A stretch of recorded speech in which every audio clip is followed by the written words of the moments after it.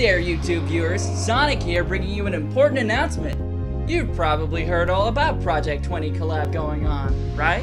Well, we've been keeping something secret from you until now. The members at Sonic Paradox will be doing a game streaming collab. For different animators and regular users, we'll be playing the majority of the Sonic games released over the years together, all week to celebrate my 20th anniversary. However, what makes regular game streaming exciting when all of you have probably played the games 20 times already? Well, a couple of the members have created a list of challenges to complete for each game, so that the game brings a new level of fun to the players, and fun for the viewers. You can also interact with the animators of the Sonic Shorts collab during this time. The gaming collab will start on Thursday, June 23rd at 9am, and will go on every day until the 30th.